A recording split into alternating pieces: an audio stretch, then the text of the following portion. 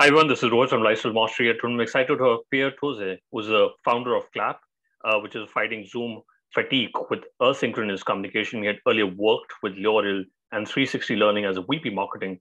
Pierre has done his MSc from international business from HEC Paris. Uh, big thank you to Antho Chong for the introduction. Welcome to the show. Yeah. Thanks.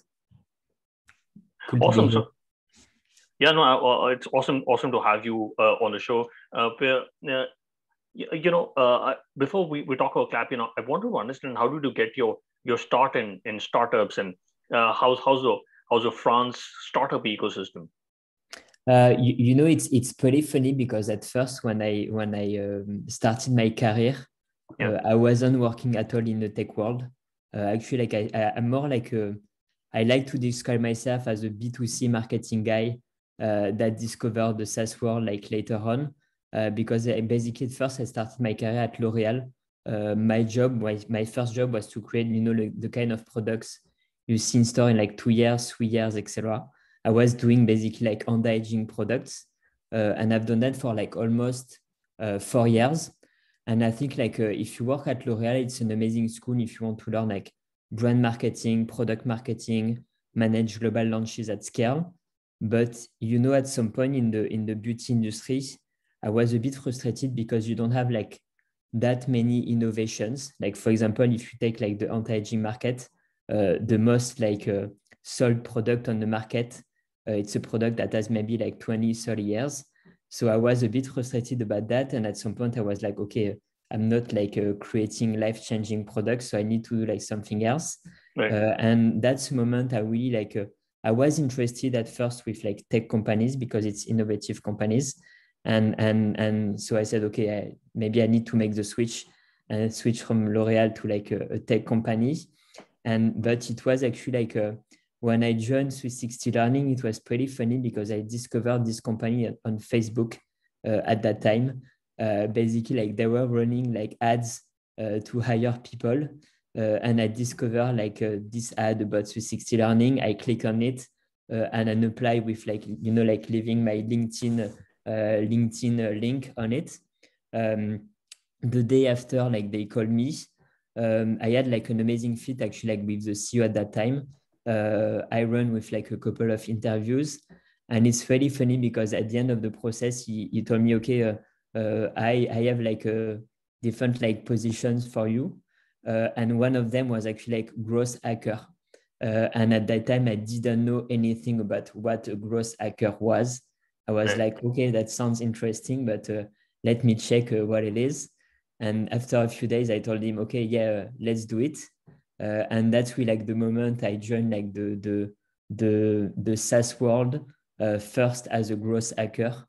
Uh, we were like I think around maybe 25 people in the company, and uh, and since then basically I had the opportunity to grow like in this company like from growth manager to Indian like VP of marketing uh, in charge of like brand, uh, demand generation, and also like uh, business development, the, the, the BDR team.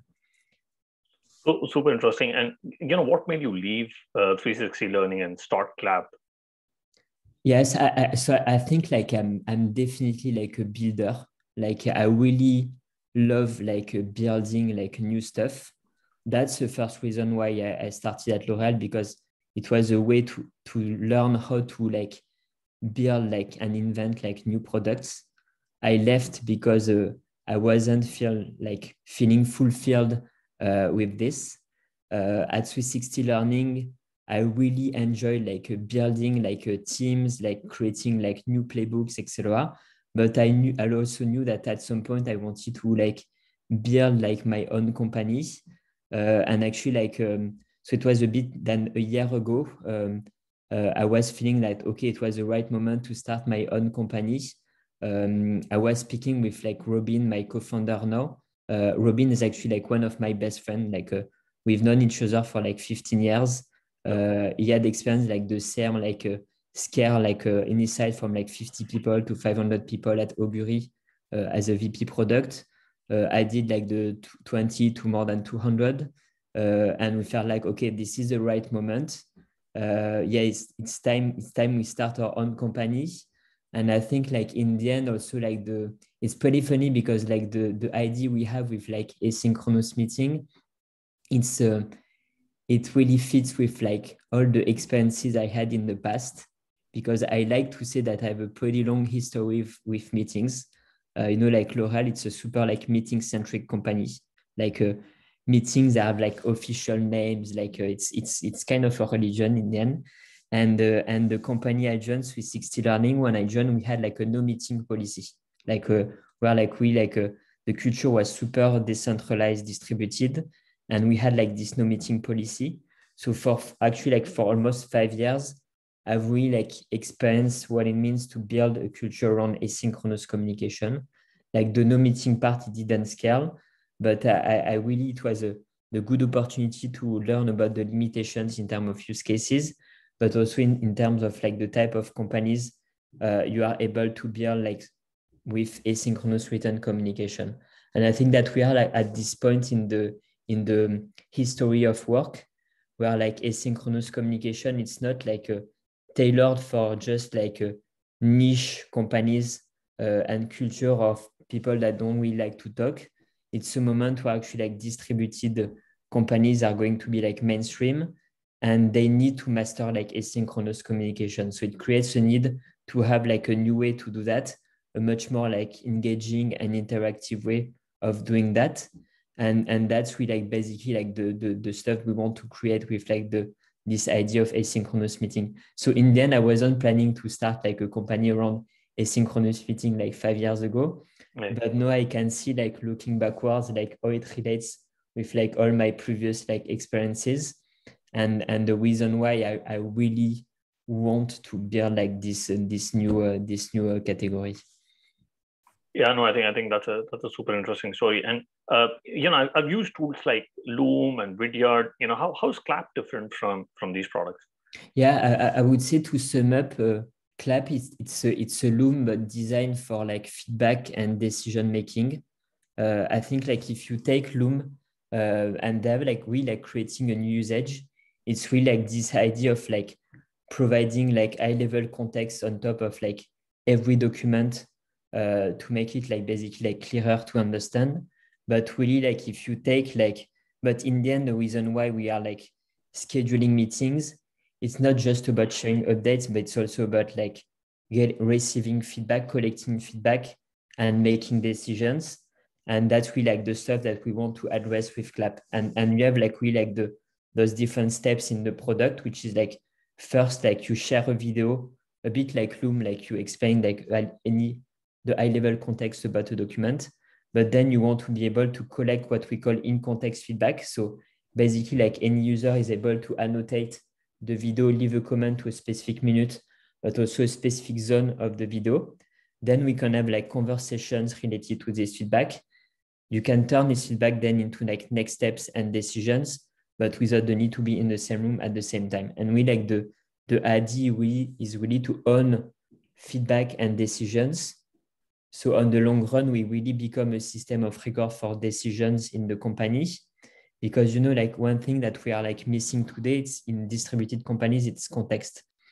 Right. When we are in the same office, it's pretty easy to know like what's happening because you are able to like grasp conversations, etc. So you have like a sense of like what's happening but we are when we are like distributed we yeah. have like this void of context so we are trying to compensate by actually like scheduling meetings and but if you think about context and so we we, we speak a lot about context and transparency but people when they think about transparency one mistake we make is to think that it's just about like knowledge sharing it's about like creating a lot of like documentation on like i don't know like uh, uh, notion coda etc but if you think about like those kind of documentation, you are going to spend maybe one month, two months, like updating like the, those docs. But then after one month, it's completely like outdated. So people like don't trust like this kind of knowledge. But actually, like the one thing that is actually like informing the whole company and that is like never outdated, it's like decisions. Like the, for example, like the decisions we made like three months ago is going to remain true in the context of like three months ago. And if you want to build back context and transparency, basically like you need to build like this system of record for for decisions in the in the company. That's a way to give the pulse of the company in the end. And, and, and do you think products like uh, Claap are more efficient for for technical teams or even for you know marketing teams? And uh, is is the whole purpose trying to minimize meetings? Uh, sorry, what, what's um, what what was your point? Um, uh, so do you think you know products like Claap and, and Loom are more more uh, efficient for uh, tech teams and the product teams, or is it useful for even operations and marketing and you know ops teams? Yeah, it's so it's a so it's it's a good question. So what we've observed so far uh, is that like the the play like it's way horizontal product, meaning that anyone in the organization can actually like use it from like product teams to actually like operations, sales, and customer success. But in terms of like early adopter, and it's really like the go-to market we focus on right now, uh, is that like the best teams to start with are actually like product and tech teams. And I would say like for maybe two two reasons. The first one is like in terms of like pain points. If you speak to like product managers, they have like a huge pain, which is like they both need to align with like many different like stakeholders and teams, like customer success, sales, marketing, etc. It's a nightmare. They're like spending like hours in meetings for like internal alignment, but also like to get feedback about like the, the roadmap and like the upcoming features, etc. And at the same time, they need to improve like product velocity. And, and so we basically like we find that we have like quick adoption among product teams for that. And the, and the second stuff that we see is that actually like the people they interact with are actually like more willing to switch to like asynchronous communication. For example, like if you are like in the in the product team, uh, you are going to be supported by uh, software engineers to switch to asynchronous communication. But for example, like uh, in the marketing teams we work with, uh, it's going to be harder for them uh, to make salespeople switch to asynchronous communication because they are like um, I would say like more attached to like the meeting habits. So it's you know it's about the the and then it's about the innovation uh, uh, adoption curve, and the early adopters are definitely like product product and tech teams, and then we have like internal virality uh, from product to marketing, marketing to customer success, etc. And in then when the whole organization is using Claap, then it's uh, it's easier to make the the, the switch entirely. And uh, you know, as a, as an ex VP marketing, you know, what, what is the ideal relationship between uh, VP marketing and and CEO? Um, you know, how, how how often should they meet? Uh, do you think a cadence of once a week or once a month should suffice? Uh, so in terms of cadence, I would say it's like a once a week, uh, and uh, and and also like continuous feedback, like asynchronous communication, and and and give it feedback, it's, it's quite important. And in terms of relationship, I would say as a VP marketing, you, you, you want to work for a CEO uh, that gets marketing. And actually, like the CEO is almost like the first marketer in the company yeah. because he's really like the one owning the, the narrative and the strategic narrative around the company. And, and, and I think that's why it's super important to have like super strong alignment between like the, the CEO and the and the VP of marketing. And I think in then it refers to like the even the role of a VP of marketing is like for sure you have like some KPIs like a, a pipe creation. You need to make sure that the pipe you you create align with like the the needs of the of the sales team, but you also have like something around more like the the quality of the pipe to make sure that in the end it aligns with like the the revenue objectives and i think that's that's why like uh, product marketing is so important because it's a way to make sure that the the demand you create as a marketer uh, it's a demand that uh, that is going to create like healthy uh, revenue in the end. So meaning like as a salespeople it's a demand that you are like more likely to close because you are not creating demand that a competitor is going to like win over you. And it's also like revenue because it's like the right fit it's like revenue that you are like able to expand in the end. And so you have like this, uh, as I would say, like double function of like marketing, which is a yeah creating pipe, but also like making sure that in the end you you you you build like a, a different and unique like positioning for for your product and your company. Interesting, and, and I totally agree that the CEO is like the first marketer, uh, and he's like the first sales guy and, and, and, the product guy. But uh, oh, but I like the cadence of, of once a week. And you, you know how how do uh, how do best marketing teams approach post mortems once they have executed a marketing plan? Uh, I, I would say you have like different stuff in marketing because you have like I would say like ongoing campaigns that are like uh, uh, evergreen campaigns and it's something that we want you want to check like every week and and optimize on the on the continuous basis um, and then you have like more i would say like a, uh, um, new campaigns that you want to launch like for example new product launches uh, new brand campaigns like this kind of stuff uh, and i would say like the post-mortem it's really like it's it's it's always like when you start something you start with like the goals and the KPIs you want to monitor. And, and in the end, it's about like checking those KPIs and those goals and how you achieve that.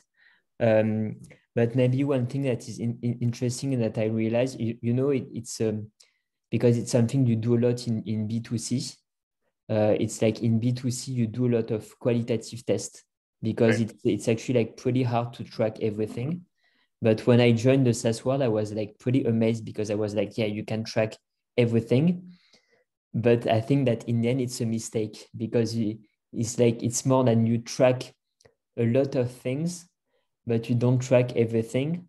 So you don't need and and if you forget about actually like doing like qualitative like tests, speaking with like your users, uh, showing them like uh, creatives, like campaigns, etc., then you really miss a lot of like data points to explain your performance and and for me that's really like something that is pretty important to do uh, even before launching a campaign but also as a as a post-mortem. And, and you know what what do, what do ceos expect from their marketing heads? What, what, what do you expect from the marketing head? Correct. You know you talked about key metrics but but what, what is in, in specific that you know you, you work with companies like 360 learning and and uh, and L'Oreal and, and you know, you know what is it that a CEO would expect a marketing head to uh, to achieve? Is it mostly brand camp uh, awareness, or is it more about uh, you know? Uh, I, I, I, I, th- I think in the end it's really about uh, it's about revenue. Like if you want to if you want to have like a, be important in the company, you need to to tie your your objective with like the ones of the business. And I think like the stuff that we did at Swiss like 360 Learning, it's a company we scale like a lot uh, with inbound. So actually, like the pipe creation was coming from the marketing, and and in the end, what like the main stuff like people expect from you in the organization is that you are able to generate enough pipe uh, for the sales team uh, to hit like new business goals. Um, and uh, and and and like I was feeling bad to um, if I didn't like meet those those objectives. And and I think that's really like the the main thing that people really expect from you in the organization. And I would say like even the brand part, uh, in the end, uh, is going to like have a positive impact on the on the on the pipe creation. All right, and uh, you know, Per, you, you work for uh, for larger companies like L'Oreal, and now you're working in a startup. Uh, does your management style, especially for managing the revenue teams, uh, has it changed over over time? Uh, yes, I, I, I, yeah, pr- pretty much because you know when you when you start like uh, so at at 360 Learning, for example, at first we are maybe three people in the in the marketing team, so it's more like I would say like your scopes are pretty broad. Uh, then like uh, you realize that uh, you need to scale the teams, so you you need to split like some scopes, but still like you have like um, people the, people you hire and that you coach uh, they still have like a pretty like a broad scopes uh, but the more you grow basically like you are going to add maybe one level of like management uh, in between so for example i had like two, uh, three uh, directors around me, like one for like brand content, one for like demand generation, and one for like the, the business development team. Uh, and and and the more you scale, you, the more you need to be like, I think, super like uh, precise in defining like uh, scopes and and and performance for like uh, each uh, team, but also like each individual contributors. And and I think that's really like the the the the way to uh, to uh, to scale the company. Correct, and uh, you know, let's let's look at Claap, uh, and you know, uh, how are you making those meetings uh, asynchronous?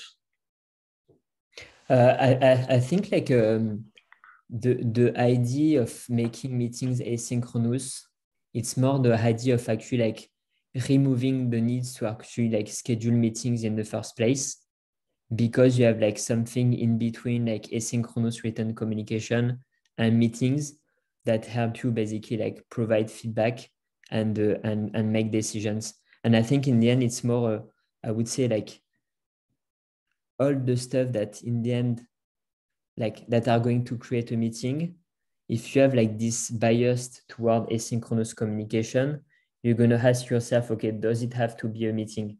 And then you're going to say okay uh, maybe i can do it like on notion so it's asynchronous communication it's fine. Or maybe i need something more and then I can like use Claap. And and that I think that's really like the the mindset we have like internally. That's a bit, for example, the mindset I had like in my previous company. We didn't have Claap, but basically like all the decisions that were like made on Trello. Um, so so you had like basically you had like two you have two stuff that you need to create uh, if you want to have like a, a no meeting culture. I think the, the first one is that first you need to build a system that provides a lot of transparency on like feedback decisions but also like on what people are actually like working on. So for example you know what we have at Claap and what we had at, at 360 learning is like this system of like okr but also like public roadmap for like every uh, stakeholder in the company. So for example like uh, if i'm going to check uh, what uh, i don't know like the sales team is doing or what like the product marketing team is doing I have access to their roadmap. Uh, I know what they are working on. I can go and comment and ask questions. Uh, I can like make requests, etc. So in the end, like since you have the information, it's going to like remove the need to actually like schedule meetings to ask like for something you know like where to ask where to get the information etc so that's really like one part of the system and the second part is more about saying okay when you need something you want to have like this bias towards asynchronous communication uh, it's like first can you actually like do it as a can can it be like a written communication? And even in the way you write a message uh, you have to be like quite structured uh, when you use like asynchronous communication like providing context um, explaining like uh, your objective etc you know like all this kind of stuff and it's a bit the same. And, and when you're stuck then the, that's the moment then you can switch like to Claap. And and so it's a bit the same. I would say like it's a you start a sync and then in the end if you're like completely stuck maybe you are going to end up in a meeting because it's about i don't know like discussing something a bit private. It's about like a super like complex problem solving. But if you have this mindset around asynchronous communication then you are going to like the default option will be uh, will be async. All right, and, and and who do you think is the is the right audience for Claap? Are you focusing on startups, SMBs, or large organizations? Yeah, so so right now we focus uh, mostly on the hyper growth uh, tech startup. I would say like uh, basically we have like two types of companies that that uh, where Claap actually like works very well. The first one is and and the play is more like a product like pure uh, pure freemium is like a um, small startup, like fully distributed, because when you are not in the same office, it's it's hard to align. And the second go-to-market uh, is like a hyper-growth tech startup. I would say like uh, above like 50, 60 people, and uh, and with uh, this you know like hyper-growth phase, because that's really like the moment when you have like a lot of cross-team communication issues because you you know when you onboard like new people every week Right. Um, you have a lot of noise, and also, for example, as a PM, as a marketer, you need to align a, a, a growing like number of stakeholders, and that's really like that's becoming a nightmare. And and and that's really like the the moment that we see where where Claap actually like brings a lot of value. Correct. And and uh, you know, how does Claap monetize the, the product? What's what's the pricing structure? So the pricing structure, it's a, it's really a freemium model. Uh, so we have like um, um, three plans. Uh, the first one is like uh, so it's a, a, a free. Uh, um, the first one it's a it's a free plan. Uh, it's unlimited members and guests, but it's limited on the storage.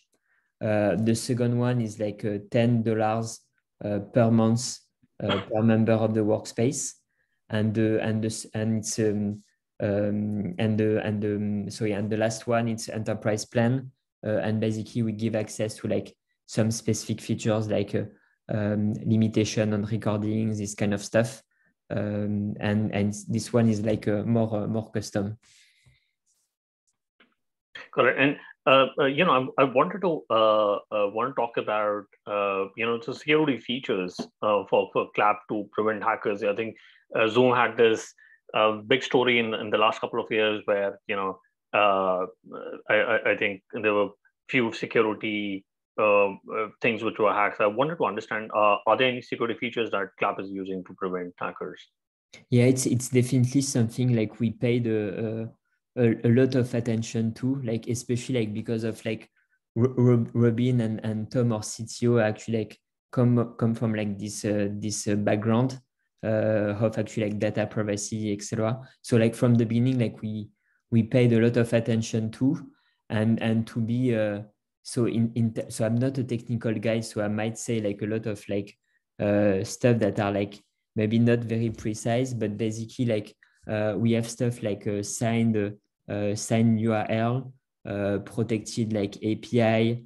Uh, we pay like extra attention to like the the the the way we did like permissions this kind of stuff. And also like from the beginning, we try to be like a GDPR compliant. So uh, basically like, yeah, we, we paid a, a, lot of attention to like to all this kind of, of privacy aspect because that we know that in the end, when we want to address decisions, uh, you need to have like something which is like very secure and we need to do it like from the beginning. Got it. And uh, and what are your thoughts on uh, you know uh, unbundling of the of the Zoom uh, product? Do you think there could be unbundling of a lot of other features from Zoom? I I I, I think so because like I guess like uh, if I if I were there, if I were them, I would try to do a bit like what Microsoft Teams did, because like uh, uh, and and for example, one thing I didn't understand was like the reason why they didn't buy Slack, for example, because it could have actually like make sense to them to have like something a bit like a, a broader. Because I think like one problem like Zoom might be facing is that actually it's pretty easy to switch from Zoom to uh, like another solution, uh, like Teams, etc. Because you don't store like any, uh, I would say like uh, data uh, in uh, in Zoom.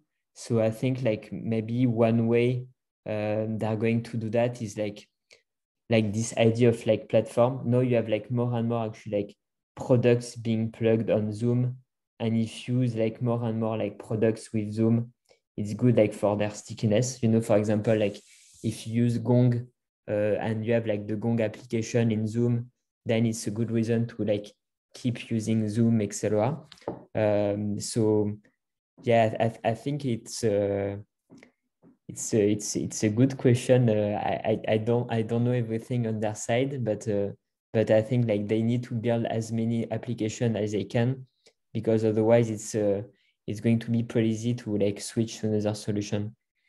Yeah, no, absolutely. I think I think Zoom was a product uh, of the year in 2020. Not many people knew about it, but after the COVID, you know, everybody knew. But I really liked how uh, you talked about, you know, Slack would have been bought by, you know, uh, by Zoom. That's a that's a uh, great insight. And um, you know, uh, you you started off your career as, as, a, as a growth hacker, especially in a tech company. But uh, what is the right time to hire for a growth growth team? Uh, what kind of profile? Uh, so, um, so be, be it B2C or B2B, you know, when, when should uh, when should a company hire a growth team? Uh, I would say like the you hire a growth team when you want to accelerate on your okay. uh, on your go to market, and I think like you have like this first phase where you really want to like I would say like uh, understand like your uh, persona, uh, your go to market, and and have a, a good idea of like your product market fit, because otherwise if you basically like accelerate when and you don't have, for example, like a, in, a good uh, product retention, this kind of stuff, then you are going to have like a, a focus that is like not the not the right one. So so I would say like um, um, I, I, I guess it depends on the also it's a good I guess it depends on the growth team. Like if it's typically like a growth marketing team and uh, and it's about more like acquisition, uh, I would say like a first like find a product market fit but if it's more like um, um, improving like product metrics like i don't know like uh, product adoption uh, retention etc i would say like your your growth team in the end is the is the product team. For example like uh, today at Claap uh, like we track like product metrics like uh, all the time and we do like a, a weekly review and we have like some kind of north star metrics. But in the end like the growth manager is is the product is the product manager. It's like the the the same role super interesting. And you know what what uh, framework do you use to you know the, make uh, effective decision making uh, especially in, you know in, in the tight uh, timelines that you have to you have to work in? Yeah so i think in terms of like decision making i really like the typical like asynchronous communication workflow. Uh, and I think it's really about, you know, first you have like this step, which is about you share like context.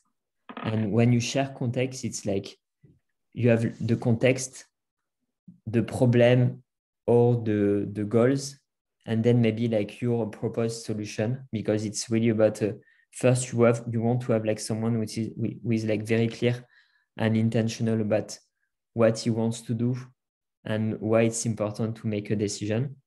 Then you have a second step, which is about you know collecting feedback from like stakeholders, uh, and it can be about I don't know three uh, different like uh, feedbackers, etc. Then it's about like turning feedback into decisions, uh, and and I think like one framework I like is like you know when when you have defined uh, uh, scopes very clearly in your company, you have what what you call DRI, uh, direct responsible individual, that are actually like the one in charge of making the decision.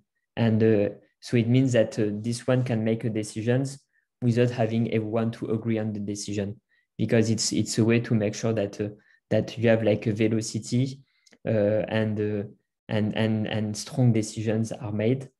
And then the last part is really about like sharing the decision to everyone to create transparency and and actually that's that's a bit like the the way we approach like the the asynchronous meeting uh, and the way we basically like design the product but it's a, it's a typical uh, asynchronous communication uh, workflow. Got it. And um, you know you you've been a founder for a for a year now and uh, you know what, what is your advice? And you quickly gone to 20 uh, 25 uh, employees. What is your advice for startups who are looking to to hire hire teams in in in the specific uh, sectors. Do you do you think uh, remote hiring and remote working uh, is going to be there, uh, where you know people from different cities and and uh, countries can also work to, uh, work for a particular startup? I would say yes, it's going to stay because we actually like found it like way easier to hire people remotely, and I think maybe it's because part of the mission is to actually like help people like work from anywhere. Actually it's a good way to to attract uh, you know like uh, uh, top top engineers. And and and I think like for me it's also going to stay because like the the main compet you know like when you I would say like my my main like um, like the stuff that worries me like the most is really like the talent competition. Because if you think about the business I think like the world is like so big that if every product can actually like find a, a market uh, where to actually like make money. But like but the talent pool is like super limited. So for example in france today we had like a, uh, two companies that announced like a, uh, two uh, major like fundraising. And when you have a look at the i don't know like the techcrunch article uh, they're like okay so we are going to hire 3000 software engineers uh, or the other one is going to be okay 2000 software engineers. And you're like okay uh, i'm in the end i'm trying to hire like the same type of people. So that's really like the the only competition that matters and uh, and and i think like uh, remote work is also a way to you know open the talent pool and say i'm not going to be like uh, limited to a specific like geography but it's really a way to yeah broaden like the uh, where you can actually like uh, uh, hire hire people so it's right. a competitive advantage in the end yeah, yeah, no, absolutely. I totally agree on that. And you know, uh, Pierre, I quickly want to do the top three. What's your favorite business book? Uh, it's Play Bigger. Bigger. Okay, awesome. Uh, and you know, if you could go back in time when when you started Claap, what is one thing you would have focused on or done anything differently? I know it's just been a year for you, but is there anything you would you would have done differently? It's a good question. Uh, I, I, I, I would say. Um, at, at it's uh, i would say like uh, lately i realized um, you know what one mistake it's, it's really about like focus and uh, and decision making in the in the company. Uh, but for example you know in my previous company we had like everything in trello and we didn't have slack. Uh, and uh, and you know and we we actually like started at at Claap using slack a lot and with notion. But you know like slack has this way of actually like swallow swallowing you in the in the product. So you can actually like spend a lot of time on slack uh, without actually like doing some work. And uh, and and took me like some months to realize that uh, i wasn't being like fully productive doing that. And one stuff i really changed was actually like to move a lot of stuff like to notion and Claap uh, and especially like you know like this system of roadmap i was like I was uh, telling you about, uh, really like planifying like all the questions, making sure that everything people are working on are related to like OKR, etc. And being like super, super intentional and killing like stuff that are like not a priority. I think that's the that's the stuff I would have done a bit uh, a bit sooner on, on some areas. We we were fast, but I think we could have been even faster yeah no that that's that's that issue that's how it should be and are you any favorite online tool for example gmail slack zoom anything other than Claap um i think notion i really i really enjoy uh, i really love notion Correct. We'll, we'll put that in the show notes. Uh, what, what, what is the best way people, people can reach out to you and know more about Claap? Sorry, what, what, sorry, I wasn't listening. Uh, sorry, uh, what uh, what is the best way people can reach out to you and know more about Claap? Uh, actually, like they can write to me on LinkedIn or they can go to uh, claap.io, uh, c l a a p.io, and uh, and actually like uh, join uh, join the, the the movement. Sure. We, will put that in our show notes. Uh, Pierre, thank you so much for taking our time and speaking to us. I really enjoyed my conversation with you. Yeah, you're welcome.